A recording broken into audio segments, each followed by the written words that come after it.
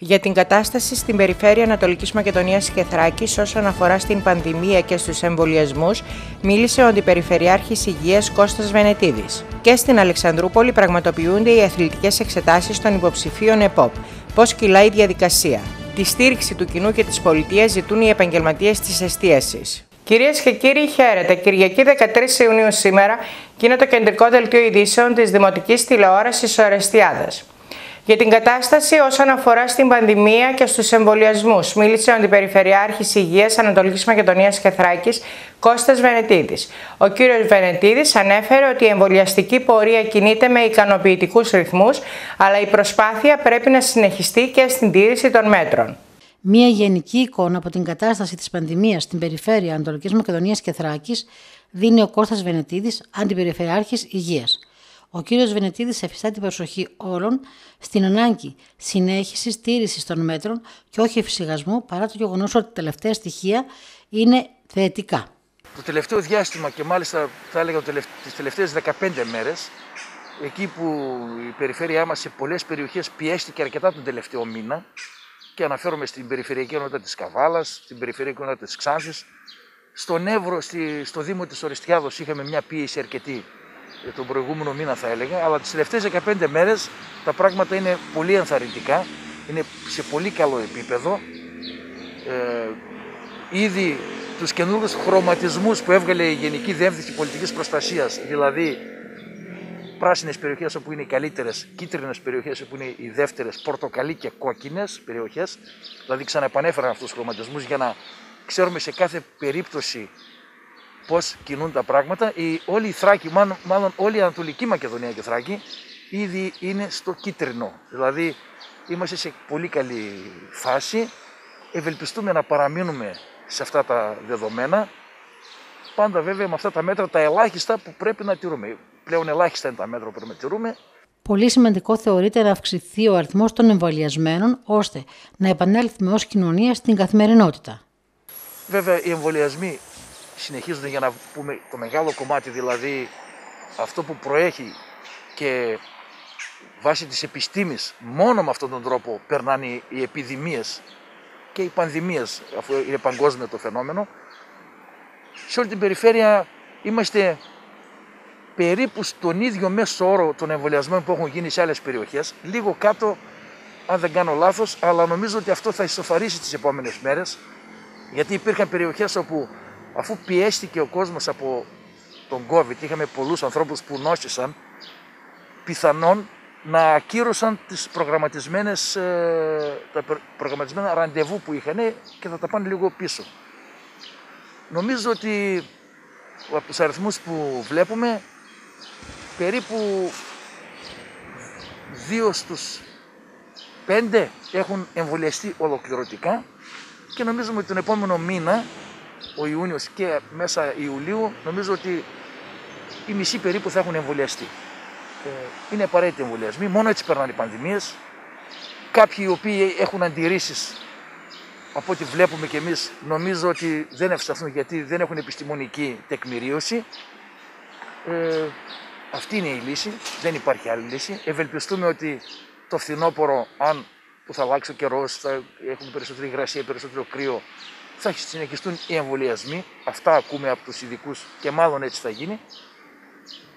Αυτό που περιμένουμε είναι να βγει και πλέον και το φάρμακο. Είναι μεγάλη σημασία για να μην πιέζονται ε, οι δομές υγείας. Και νομίζω ότι σιγά σιγά θα πρέπει να, να τελειώνουμε με αυτή την ιστορία για να την ξεχάσουμε κιόλας. Γιατί πραγματικά είναι ένα βίωμα, ίσως το βλέπει και ο κόσμος, όλες οι συζητήσεις, ακόμα και τώρα που λίγο ο κόσμος άρχισε να κυκλοφορεί, είναι θέμα συζήτησης. Την ανάγκη να θεσμοθετηθεί ένα ολοκληρωμένο πλαίσιο που θα προβλέπει συγκεκριμένους κανόνες και όρια για την εφαρμογή της τηλεεργασίας, τόνισε η βουλευτής Εύρου και αναπληρώτρια τομεάρχης ψηφιακής διακυβέρνησης, ενημέρωσης και επικοινωνίας του ΣΥΡΙΖΑ, Νατάσα Γκαρά. Επίθεση προς το σύνολο των εργαζομένων με τα πρόσφατα νομοθετήματα εξαπέλυσε η κυβέρνηση, τονίζει η Νατάσα Γκαρά, βουλευτής του ΣΥΡΙΖΑ, στην ομιλία της στη Βουλή για το νομοσχέδιο της Νέας Δημοκρατίας για τη τηλεεργασία. Σε μια συγκυρία που επικρατεί η ανασφάλεια σε όλα τα επίπεδα, κυρίως στο υγειονομικό πεδίο, και αυτό δεν πρέπει να το ξεχνάμε, σε μια εποχή που αμφισβητείται κάθε προηγούμενη βεβαιότητα σε μια συγκυρία που η κυβέρνηση της Νέας Δημοκρατίας αντί να στηρίξει τους συμπολίτες μας με προωθητικές πολιτικές ενίσχυσης Δυστυχώς έχει εξαπολύσει ολομέτωπη επίθεση στο σύνολο των εργαζομένων και των μεσαίων στρωμάτων της χώρας, εξυπηρετώντας συγκεκριμένα συμφέροντα, όπως με το κλείσιμο σχολείων και πανεπιστημίων, με το νέο πτωχευτικό που αφήνει απροστάτευτη την πρώτη κατοικία, με τις νέες αντικειμενικές αξίες και την αυτόματη αύξηση τουλάχιστον 20 φόρων, με το νομοσχέδιο του κυρίου Χατζηγάκη Χατζηδάκη που καταργεί την Κυριακάτικη Αργία, απελευθερώνει τις απολύσεις, προβλέπει δεκάωρη εργασία και απλήρωτες υπερορίες. Κυρίες και κύριοι συνάδελφοι, χιλιάδες πολίτες σήμερα κατέβηκαν στον δρόμο σε όλη την Ελλάδα. Νέοι, νέες, εργαζόμενοι, άνεργοι, άνεργες, έστειλαν ένα ηχηρό μήνυμα σε όλους. Ένα ηχηρό μήνυμα κυρίως στην κυβέρνηση. Ακούστε τους αυτούς τους ανθρώπους. Ακούστε τους και νομοθετήστε για τις πραγματικές ανάγκες των πολιτών. Προστατέψτε την εργασία και μην τη διαλύετε με τα νομοθετήματά σας. Η προστασία της εργασίας, ξέρετε, είναι θεμέλια λήθος και της κοινωνικής συνοχής και της ανάπτυξης.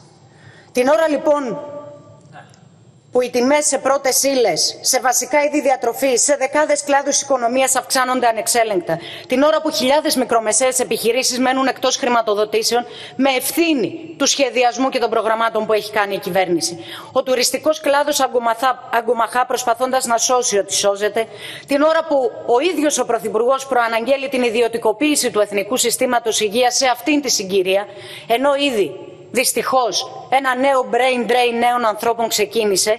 Σε αυτήν τη συγκυρία, λοιπόν, η κυβέρνηση φέρνει προς ψήφιση ένα νομοσχέδιο για το πλαίσιο λειτουργίας τηλεργασίας, παράλληλα όμως σε ξεχωριστό νομοσχέδιο και με το αντεργατικό νομοσχέδιο του κυρίου Χατζηδάκη. Κατηγόρησε την κυβέρνηση για επιδερμική προσέγγιση του ζητήματος της τηλεεργασία στο νομοσχέδιο και παράλληλα προειδοποίησε να μην επιχειρηθεί με όχημα την τηλεεργασία μείωση προσωπικού και μισθών. Το θέμα της τηλεργασίας είναι ένα ιδιαίτερα σοβαρό ζήτημα, όπως και ο συγχρονισμός και η λειτουργία του δημοσίου τομέα στο σύνολό του, ένα ζήτημα το οποίο χρήζει σοβαρής και συνολικής νομοθέτησης.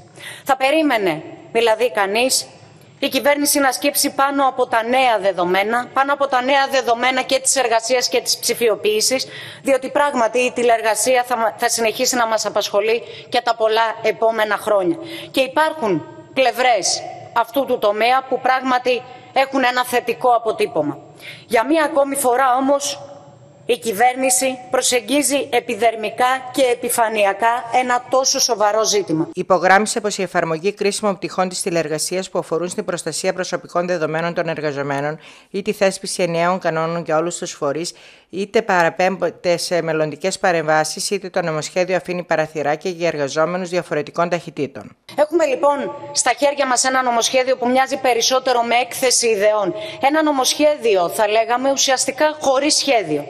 Ενδεικτικά αναφέρω πως κρίσιμα ζητήματα όπως η προστασία των προσωπικών δεδομένων παραπέμπεται στο μέλλον σε προεδρικά διατάγματα ή άλλες κανονιστικές πράξεις της διοίκησης. Ήδη, κύριε Υπουργέ, μας αναφέρατε ότι για να υλοποιήσετε, για να σχεδιάσετε τα προεδρικά διατάγματα εν καιρό θα ζητήσετε την άποψη της Αρχής Προστασίας Προσωπικών Δεδομένων. Επιπλέον, κυρίες και κύριοι συνάδελφοι, συζητάμε για το πλαίσιο της τηλεργασίας και διαπιστώνουμε πως σε αυτό το νομοσχέδιο δεν θεσπίζονται ενιαίοι κανόνες, κριτήρια και προποθέσει συνδεδεμένα με τα οργανογράμματα των δημόσιων φορέων για την υπαγωγή αυτών στο πλαίσιο τηλεργασίας, αν και όποτε χρειαστεί. Προκαλείται δηλαδή εξ αρχής διαφορετικές προσεγγίσεις μεταξύ των φορέων και κατά συνέπεια δημιουργείται υπαλλήλους εργαζόμενων πολλών και διαφορετικών ταχυτήτων. Επιπλέον, στο άρθρο 6 που αφορά στην προστασία προσωπικών δεδομένων, η διατύπωση η οποία αναφέρεται στο νομοσχέδιο αφήνει παραθυράκια και δεν προφυλάσσει τους εργαζόμενους και τους υπαλλήλους από κακόβουλες επιθέσεις τρίτων. Δεν μας, δεν μας εκπλήσει ιδιαίτερα αυτή η προχειρότητα στην αντιμετώπιση των δεδομένων προσωπικού χαρακτήρα, διότι ως κυβέρνηση Έχετε ήδη αμαρτωλό παρελθόν στο συγκεκριμένο ζήτημα και θυμίζω την πρόσφατη προσπάθεια της Υπουργού Παιδείας να βάλει κάμερες στις τάξεις των μαθητών, λες και οι ζωές των παιδιών και των εκπαιδευτικών είναι ένα τηλεπαιχνίδι που μπορούμε να το παρακολουθούμε. Η βουλευτής Εύρου έθεσε στην ομιλία της και το ζήτημα της προμήθειας των απαραίτητων τεχνολογικών μέσων για την τηλεεργασία, τονίζοντας πως δεν μπορεί οι ίδιοι οι εργαζόμενοι να επιβαρύνονται για την αγορά και συντήρηση του εξοπλισμού, υπολογιστές, κάμερες, δίκτυα κτλ. Κάτι που πρέπει να αναφέρεται ρητά στο νομοσχέδιο. Ένα ακόμη ζήτημα το οποίο πρέπει να διευκρινιστεί είναι η διαδικασία προμήθειας των απαραίτητων τεχνολογικών μέσων ώστε να λειτουργήσει η τηλεργασία. Είναι προφανές ότι οι εργαζόμενοι δεν μπορούν να χρησιμοποιούν τον προσωπικό τους εξοπλισμό αν έχουν, αν διαθέτουν. Και σίγουρα για εργασίες του δημόσιου τομέα δεν είναι και ασφαλές να χρησιμοποιούν τον προσωπικό τους εξοπλισμό. Ούτε και μπορούν να επιβαρύνονται οι ίδιοι με την αγορά και τη συντήρηση αυτού του εξοπλισμού. Υπολογιστές, κάμερες, δίκτυα, προγράμματα και αυτό πρέπει να αναφέρεται ρητά καθαρά στο κείμενο του νομοσχεδίου. Για την προμήθεια λοιπόν κατάλληλου εξοπλισμού αποκλειστικής χρήσης που θα διαθέτουν και συστήματα ασφαλείας από κακόβουλες επιθέσεις, θα απαιτηθούν συμβάσεις αξίας πολλών εκατομμυρίων ευρώ. Επιπρόσθετα, η κυρία Γκαρά υπογράμμισε πως θα πρέπει το νομοσχέδιο να περιγράφεται και ένα σαφές πλαίσιο για την ενθάρρυνση και συμμετοχή στην τηλεεργασία και των ατόμων με αναπηρία ή ατόμων που ανήκουν σε ευπαθείς ομάδες ή αποτελούν μέλη μονογονεϊκών οικογενειών. Κλείνοντας, η κυρία Γκαρά σημείωσε: Θα πρέπει να γίνει κατανοητό πως η τηλεεργασία είναι ένα ιδιαίτερα χρήσιμο και πολλές φορές και αναγκαίο, αλλά συμπληρωματικό εργαλείο για τον δημόσιο τομέα. Δεν ήρθε για να αντικαταστήσει τη διαζώση εργασία, ούτε βεβαίως για να οδηγήσει στην περαιτέρω υποβάθμιση των εργασιακών δικαιωμάτων. Τη στήριξη του κοινού και της πολιτείας ζητούν οι επαγγελματίες της εστίασης, με μετάδοση μουσικής και παράταση ωραρίου κυκλοφορίας και τα προβλεπόμενα μέτρα κατά του κορονοϊού λειτουργούν τα καταστήματα εστίασης και στην περιοχή μας. Από το Σάββατο 12 Ιουνίου επεκτάθηκε μέχρι τις 1.30 τα μεσάνυχτα το ωράριο κυκλοφορίας και επιτράπηκε η μετάδοση μουσικής στα καταστήματα εστίασης. Η εστίαση έχει ανοίξει από τις αρχές Μαΐου και οι επαγγελματίες ζητούν τη στήριξη του κόσμου για να μπορέσουν να ανταπεξέλθουν στις υποχρεώσεις τους και το κοινό να μπει στην κανονικότητα. Η λειτουργία ξεκίνησε από τις αρχές Μαΐου, τη δεύτερη μέρα του Πάσχα που στις 4 του μηνός. Προσπαθούμε, τα πράγματα είναι δύσκολα, προσπαθούμε να ανταπεξέλθουμε, γιατί και ο κόσμος είναι όλοι πιεσμένοι λόγω της καραντίνας, γιατί ήμασταν αρκετά καιρό κλειστοί, γύρω στο εξάμεινο. Όχι γύρω, έξι μήνες ήμασταν. Και είναι πάρα πολύ δύσκολο και για τον κόσμο να αρχίσει να ξαναβρίσκει τις παλιές του συνήθειες και εμείς σαν επαγγελματίες να μπορούμε να, να απεξέλθουμε στις υποχρεώσεις μας που έχουν γίνει πάρα, πάρα πολύ μεγάλες. Εντάξει, η πολιτεία είναι κοντά μας και η τοπική αυτοδιοίκηση από την πλευρά της Δημαρχίας και αυτά, αλλά χρειάζομαστε έξτρα στήριξη, πιστεύω δηλαδή. Εγώ τώρα μιλάω και προσωπικά για εμά εδώ στις Καστανές στο Νευστήριο, αλλά και γενικά νομίζω ότι και οι επαγγελματίες μια έξτρα βοήθεια θα τη χρειαζόμασταν όλοι. Γιατί εντάξει, η καιρή είναι πάρα, πάρα πολύ δύσκολη, το ξέρουμε όλοι τα, οι πιέσεις θα αρχίσουν πλέον από τη στιγμή που έγινε το άνοιγμα να γίνονται μεγαλύτερες και θα πρέπει να έχουμε και μια ανοχή. Αυτά είναι τα επαγγελματικά, δηλαδή πιστεύω ότι πρέπει η πολιτεία να μας δώσει και να μας βοηθήσει ακόμα. Το θεωρώ δηλαδή γιατί και εντάξει και όλα τα μαγαζιά στην ουσία κάνουν και ένα λειτουργήμα και όλοι προσπαθούν να δίνουν τον καλύτερο σε αυτό για να προσελκύσουν τους πελάτες. Αυτά βέβαια έχει ένα κόστος, το επιβαρύνουν. Ξεκινήσαμε, ο κόσμος άρχισε να ανταποκρίνεται παρά όλα τα προβλήματα. Προσπαθούμε να έχουμε το χώρο να το φτιάξουμε, τον έχουμε όπως είναι εδώ, να είναι έτοιμος με τις παιδικές χαρές, οτιδήποτε, να είναι καθαρός. Νομίζω ότι θα έχουμε ένα καλό καλοκαίρι, εννοείται με τη συμπαράσταση του κόσμου και εννοείται όλοι να προσέχουμε γιατί πάντα τα μέτρα δεν φτάνουν αν δεν προσέχουμε για να μην την πληρώσουμε ο καθένας μας και με τον κορονοϊό και αυτά. Οι επιστρεπτές δόθηκαν, αλλά τα καταστήματα ήταν κλειστά για έξι μήνες και τα χρήματα δεν φτάνουν για τα πάγια έξοδα. Στο μεταξύ και στο αναψυκτήριο των Καστανεών δεν πραγματοποιήθηκαν εκδρομές από σχολεία και συλλόγους. Οι επιστρεπτές όλοι πήγαν και ανάλογα σε αυτά που δικαιούταν τα πήραν. Απλά σίγουρα δεν ικανοποιούν. Αυτό είναι το μόνο σίγουρο. Εγώ το βλέπω από τη δικιά μου την πλευρά, γιατί με τους τρεις χώρους που έχω, αυτά γίνονται. Και τα έξοδα είναι υπερβολικά πολλά. Δηλαδή, μια επιχείρηση όταν είναι κλειστή έχει κόστος. Εδώ θα πω ένα παράδειγμα για μας, ο προηγούμενος Μάιος και αυτός ο Μάιος που χάθηκαν, δηλαδή στην ουσία οι δύο χρονίες που χάθηκαν στις σχολικές εκδρομές εδώ, για μένα παράδειγμα είναι ένα οικονομικό κόστος μεγάλο. Κατάλαβες. και οικονομικά για μας, αλλά και για τα παιδιά που δεν βγήκαν, δεν πήγαν στις εκδρομές τους για αυτά για να περάσουν και ωραία. Αυτά τα πράγματα δεν καλύπτονται. Για να σου δώσω να καταλάβεις δηλαδή το, το αντίστοιχο με τις επιστρεπτές υπερκαταβολές που λέμε. Γι' αυτό πρέπει να έρθουν κοντά μας η πολιτεία, μη τι άλλο, να μπορέσουμε να μιλήσουμε και να δούμε καθένας μας τα προβλήματα. Δηλαδή και οι σύλλογοι που άρχισαν να δημιουργούνται στην Ορστιάδα υπάρχουν, αλλά και γενικά η πολιτεία θα πρέπει να μαζί κοντά. Να έρθει κοντά να μιλήσουμε, γιατί ε, για να μπορέσουμε να έχουμε ένα μέλλον και αυτό που λένε και γενικώς οι παράγοντες όλοι, να μπορέσουμε να συνεχίσουμε όλοι μαζί. Αλλιώς δεν υπάρχει, κατά τη γνώμη μου, δηλαδή πολλές επιχειρήσεις θα υπάρξουν που θα μείνουν πίσω, θα κλείσουν και είναι κρίμα γιατί ο εκάστοτε επαγγελματίας και εμείς όλοι έχουμε υποχρεώσεις, οικογένειες, παιδιά και είναι κρίμα να κλειδώνουν. Ελπίζουν στη καινούργια καλοκαιρινή σεζόν οι επαγγελματίες τη εστίαση. Σας μαρτυρώ δηλαδή πράγματα τα οποία γίνονται εδώ πέρα κάτω, όπως δεν έγιναν εκδηλώσεις δύο χρόνια. Τώρα δεν ξέρω για φέτος ε, αν θα γίνει κάτι εδώ κάτω, δεν το γνωρίζω. Αλλά αυτό είναι όλη η πραγματικότητα. Τώρα αυτά μένουν πλέον πίσω. Ανοίγει η καινούργια σεζόν, να έχουμε ένα καλό καλοκαίρι όλοι που το εύχομαι. Προσπαθούμε να έχουμε ό,τι καλύτερο το έχουμε με το μέρος και να μπορέσουμε να αποδεχτούμε τον κόσμο, να τον εξυπηρετήσουμε και να το φτιάξουμε αυτά δηλαδή κατά εκεί μας που μπορούμε να κάνουμε για να περάσει ο κόσμος καλά. Σε ένα μοναδικό όμορφο περιβάλλον αυτό του Άρδα μπορούν οι θαμώνες του αναψυχητηρίου να περάσουν ευχάριστα την ώρα τους, πάντα με τα μέτρα κατά του κορονοϊού, όπως είναι οι αποστάσεις στα τραπεζοκαθίσματα, τα αντισηπτικά, τα εμβόλια, οι απολυμάνσεις του χώρου, τα self-test των εργαζομένων. Κάποιος που θα θέλει να φύγει από την Εροστιάδα ή από το χωριό του για να έρθει Καστανές, έχει δε ένα υπέροχο ποτάμι, το οποίο έχει τη δροσιά, είναι καθαρό, είναι ανοιχτός ο χώρος, ο οποίος και σύμφωνα με τα μέτρα, με τις αποστάσεις, να μπορεί να μην έχει πρόβλημα που να έχουμε τον κορονοϊό και με αυτά. Έχει την παιδική χαρά, έχει ένα πέραντο πράσινο, μπορεί να κάνει τον περίπατό του, μπορεί να κάνει το τέτοιο.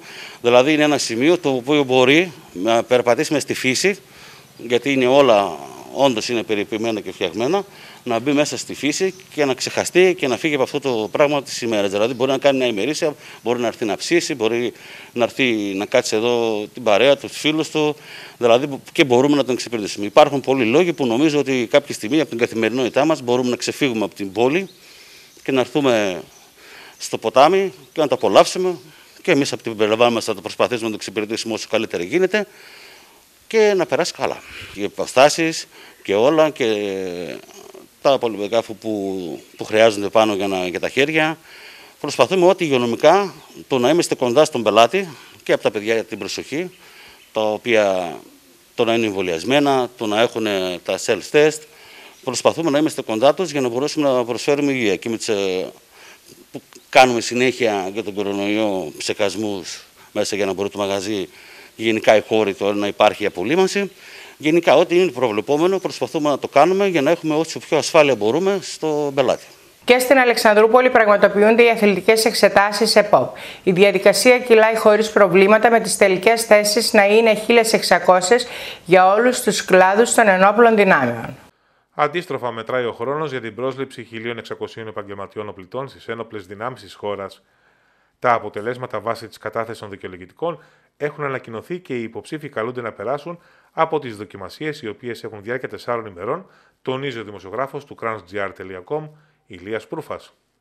Σε εξέλιξη βρίσκεται η διαδικασία πρόσληψης επαγγελματιών οπλιτών σε στρατό ξηράς, πολεμικό ναυτικό και πολεμική αεροπορία.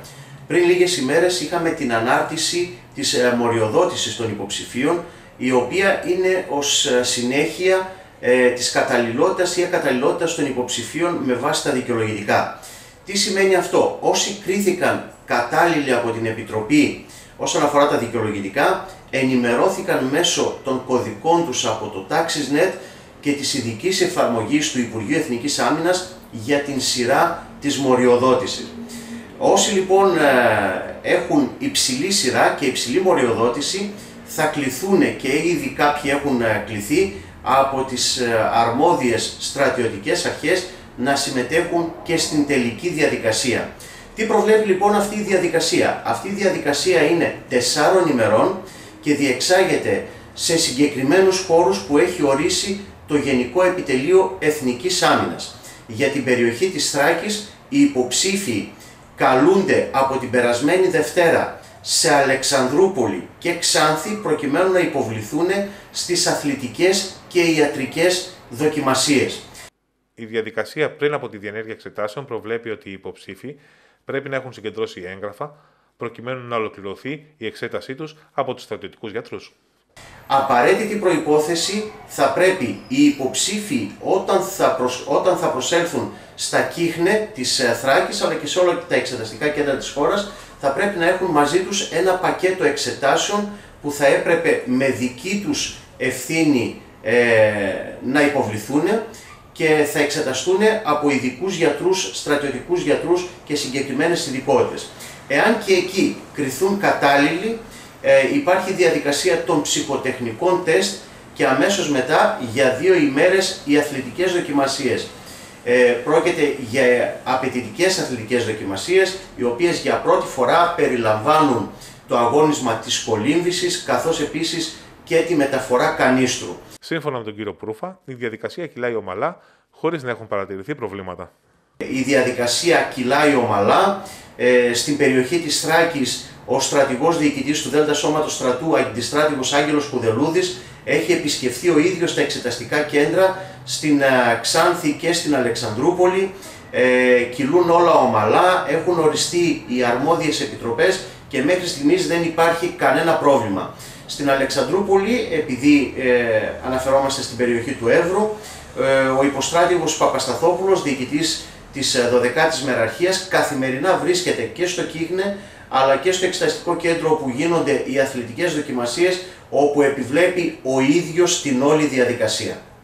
Αλλαγές θα γίνουν από την προσεχή 3η 15 Ιουνίου στη λαϊκή αγορά της Ορεστιάδας λόγω τεχνικών έργων που θα εκτελούνται στα πεζοδρόμια επί της Πατριάρχου Γρηγορίου, όπου διεξάγεται η λαϊκή. Ειδικότερα, το 1 τρίτο σχεδόν των εμπόρων που εκθέτουν τα προϊόντα τους από την αρχή της λαϊκής και για τέσσερα οικοδομικά τετράγωνα θα μετακινηθούν στη παράλληλη οδό εθνομαρτύρων έως ότου ολοκληρωθούν οι εργασίες.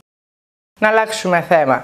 Το Δημοτικό Σχολείο Ριζίων κατέκτησε την πρώτη θέση στον Πανελλήνιο Διαγωνισμό Bravo Schools 2021. Το πρόγραμμα στο οποίο διακρίθηκε το σχολείο είχε τίτλο «Περιβάλλον, δράση συνεργασίας» και υλοποιήθηκε από τους μαθητές με την υποστήριξη της δασκάλας Ρούλας Λεύκελη και της Ένωσης Μαζί για το Παιδί. Μεγάλη ήταν η ικανοποίηση των μαθητών και των δασκάλων στο Δημοτικό Σχολείο Ριζίων μετά την κατάκτηση της πρώτης θέσης σε πανελλήνιο εκπαιδευτικό διαγωνισμό με τίτλο Bravo Schools 2021. Ήταν μια πολύμηνη προσπάθεια που έγινε μέσα στην πανδημία και το αποτέλεσμα ήταν ιδιαίτερα θετικό. Οι μαθητές με τη βοήθεια της δασκάλας τους Ρούλας Λεύκελη δημιούργησαν και έδωσαν ζωή σε ένα θερμοκήπιο. Είμαστε πολύ ικανοποιημένοι μετά την απονομή των διακρίσεων και των βραβείων από τον τέταρτο από τον οργανισμό Quality Net Foundation, ο οποίος ήταν υπεύθυνος για τον τέταρτο Πανελλήνιο Διαγωνισμό Bravo Schools 2021. Η απονομή λοιπόν των βραβείων έχει ως εξής. Η σχολική μας μονάδα να λάβει διάκριση στον, στον πυλώνα περιβάλλον δράσης συνεργασία, μία δεύτερη διάκριση στον πυλώνα κοινωνία δράσης συνεργασίας, να βγει πρώτη η σχολική μας μονάδα στην ψηφοφορία του κοινού και να λάβει και το βραβείο συνεργασίας. Επειδή ακριβώς το πρόγραμμά μας συνεργάζομαι, δραστηριοποιούμε, δημιουργώ συνεκτικούς δεσμούς που δουλέψαμε με τους μαθητές της 6ης Δημοτικού, ήταν προσανατολισμένο στο 10ο, στον 17ο Παγκόσμιο Στόχο της Βιώσιμης Ανάπτυξης, ο οποίος στόχος είναι επικεντρωμένος στη συνεργασία για τους στόχους της βιώσιμης ανάπτυξης. Συμμετείχαν 342 σχολεία από όλη τη χώρα με 867 συμμετοχές και πήραν μέρος 30.000 μαθητές. Ένα από αυτά τα σχολεία ήταν και η δική μας σχολική μονάδα, η οποία συμμετείχε με τους δικούς μας 16 μαθητές. Υπεύθυνη του προγράμματος ήμουνα εγώ και σε αυτό το πρόγραμμα συνέβαλαν και οι συνάδελφος των Αγγλικών, η κυρία Πατρονούδη, η συνάδελφος των Γερμανικών, η κυρία Τριανταφυλλίδου και η συνάδελφος η δασκάλα της 6ης τάξης, η κυρία Ταμουρίδου. Το πρόγραμμα υλοποιήθηκε και ολοκληρώθηκε σε 8 μήνες με μεγάλη προσπάθεια όλων των συμμετεχόντων καθώς οι συνθήκες λόγω της οικονομικής κρίσης ήταν ιδιαίτερα δύσκολες. Αυτό το πρόγραμμα λοιπόν ξεκίνησε από τον Οκτώβριο του 2020 και ολοκληρώθηκε τώρα το, το Μάιο του 2021. Σε όλο αυτό το χρονικό διάστημα οι μαθητές μας ήταν πολύ πρόθυμοι τυπικοί και οργανωτικοί στις δράσεις και βέβαια απέδειξαν, μάλλον ανέδειξαν τις ικανότητες που διέθεταν και συνεργάστηκαν με τον καλύτερο δυνατό τρόπο σε όλες τις βιωματικές δράσεις μας αλλά και σε όλες τις τηλεδιασκέψεις. Γιατί ας μην ξεχνάμε ότι σε αυτό το πρόγραμμα κληθήκαμε να αντιμετωπίσουμε και την πανδημία. Οπότε προσαρμόσαμε το πρόγραμμά μας και στην εξαποστάσεως εκπαίδευση, όπου και οι μαθητές μας είχαν την ευκαιρία να καλλιεργήσουν και τις ψηφιακές τους δεξιότητες και να προχωρήσει το πρόγραμμα και να εξελιχθεί. Για να φτάσουμε στα, στον τελικό στόχο που ήταν ο διαγωνισμός στα βραβεία Bravo Schools 2021. Μετά την ανακοίνωση της κατάκτησης της πρώτης θέσης, τα συναισθήματα των μαθητών και των δασκάλων ήταν ικανοποίηση και χαρά. Ήταν πάρα πολύ χαρούμενοι, ενθουσιασμένοι και γεμάτοι ικανοποίηση. Και σήμερα που επέστρεψαν, που γυρίσαμε στο σχολείο μας, τα συναισθήματά τους είναι πολύ θετικά και από την πλευρά τους και μετέφεραν πολύ θετικά συναισθήματα και από την πλευρά των γονέων τους. Τι σημαίνει αυτή η διάκριση για το σχολείο όσον αφορά τη συνέχιση Ακριβώς. Λοιπόν, σημαίνει ότι οι μαθητές μας γίνονται πρεσβευτές των στόχων της βιώσιμης ανάπτυξης, θα λάβουν τη διάκριση αυτή και ότι το σχολείο πιστοποιείται ως σχολείο πρεσβευτή βιώσιμης ανάπτυξης. Δηλαδή, ε, γίνονται οι συνεχιστές, αναλαμβάνουν δράση, ώστε και το επόμενο σχολικό έτος να δραστηριοποιηθούν σε έναν από τους 17 παγκόσμιους στόχους. Φέτος επιλέξαμε το 17ο στόχο, η συνεργασία για τους στόχους, ενδεχομένως του χρόνου να ασχοληθούμε με κάποιον άλλον στόχο. Η Ένωση μαζί για το παιδί είχε έναν πολύ δυνατό και υποστηρικτικό ρόλο, γιατί η σχολική μονάδα είχε το όραμα να δημιουργήσει ένα σχολικό θερμοκήπιο και να οργανώσει ένα πρόγραμμα γύρω από αυτό, αλλά χρειαζόταν ένα υποστηρικτικό πλαίσιο. Αυτό το υποστηρικτικό πλαίσιο λοιπόν το, το ε, βρήκε, δόθηκε από την Ένωση μαζί για το παιδί ήταν αυτή η οποία μεσολάβησε για να γίνει η χορηγία του σχολικού θερμοκηπίου, αλλά και σε όλη τη διάρκεια όμως του προγράμματος ήταν κοντά μας. Σε ό,τι χρειάστηκε ήταν δίπλα μας, ακόμη και στις, τελε, και στις τηλεδιασκέψεις αλλά και στις βιωματικές δράσεις. Μας άνοιξε και άλλους δρόμους, μας έφερε σε επαφή με, πολλούς, με διαφορετικούς φορείς, ιδρύματα και οργανισμούς. Το πρόγραμμα αυτό για φέτος θα ολοκληρωθεί στις 18 Ιουνίου, ημέρα Παρασκευή, όπου εκείνη την ημέρα στον άβλιο χώρο της σχολικής μας μονάδας οργανώνεται μία μικρή δράση ε, για να γίνει η αποτίμηση του προγράμματος και ο επαναπροσδιορισμός της συνεργασίας μας με την Ένωση Μαζί για το Παιδί, με την τοπική κοινωνία αλλά και με την ευρύτερη κοινωνία μας. Δηλαδή εκείνη την ημέρα θα έρθει η ομάδα του Μαζί για το Παιδί, θα είναι εδώ η υπεύθυνη σχεδιασμού και ανάπτυξης η κυρία Τατιάνα Μουλούλη, θα παραβρεθεί ο δήμαρχος της πόλης μας, για τον οποίο πρέπει να σημειωθεί ότι ήταν αυτός ο οποίος άνοιξε αυτόν τον δημιουργικό δρόμο για να συνεργαστούμε με την Ένωση μαζί για το παιδί. Επίσης θα, είναι, θα παραβρεθούν στελέχη της εκπαίδευσης, καθώς και κάποιοι εκπρόσωποι της τοπικής κοινωνίας, όπως είναι ο Σύλλογος Γονέων, ο πρόεδρος της τοπικής κοινότητας και ο ιδρυτής της Κινσέ Πάρωμα Εύρου ως εκπρόσωπος των ιδιωτικών επιχειρήσεων της κοινωνίας μας. Εκεί λοιπόν θα γίνει ένας απολογισμός του προγράμματος, θα εκφράσουν και οι μαθητές μας τις εμπειρίες τους και τα βιώματά τους και θα επαναπροσδιορίσουμε τους στόχους του προγράμματος για την επόμενη σχολική χρονιά γιατί η συνεργασία μας με την Ένωση Μαζί για το Παιδί θα συνεχίσει να υπάρχει και θα, βάλουμε, θα θέσουμε λοιπόν εκ νέου τους στόχους, ούτως ώστε το Σεπτέμβριο ερχόμενοι να οργανωθούμε για ένα νέο project. Συνεχίζεται η περιήγηση στο Δήμο Ορεστιάδας. Σήμερα θα πάμε στη Μεγάλη Δοξιπάρα.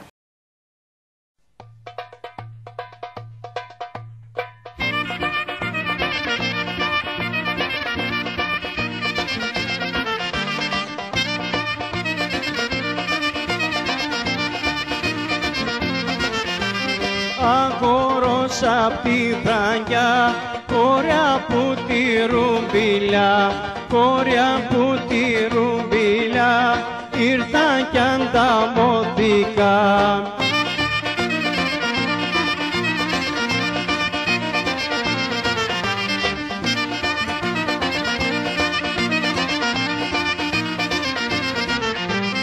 Ήρθα κι ανταμώθηκα στον απλήν του ποταμό, στον απλήν του ποταμό, περασιμένα κόρη μου.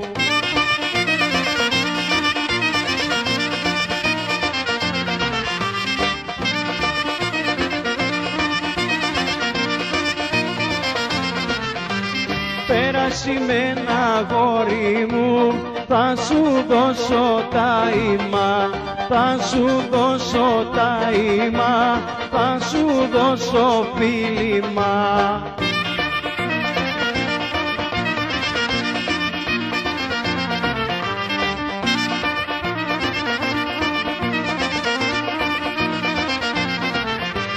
Θα σου δώσω φίλημα, θα σου δώσω τα ημά, θα σου δώσω τα ημά, κι όταν του νύπη για φίλημα.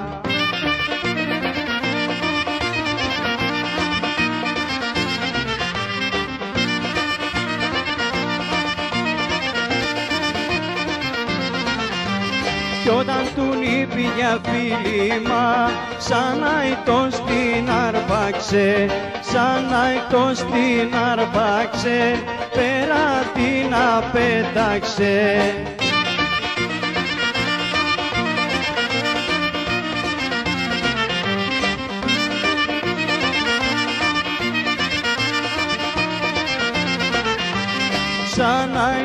την αρπάξε πέρα την απέταξε πέρα την απέταξε να η να η κόρη μου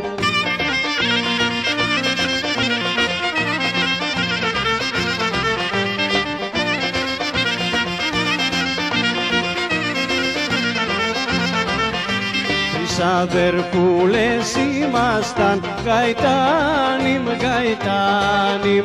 Τρεις αδερφούλες ήμασταν γαϊτάνιμ, γαϊτάνιμ.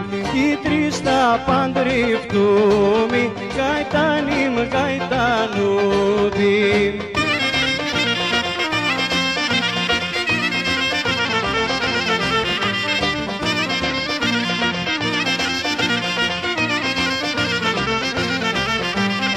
Μια τα παρήλω σάγω γαϊτάνιμ, γαϊτάνιμ.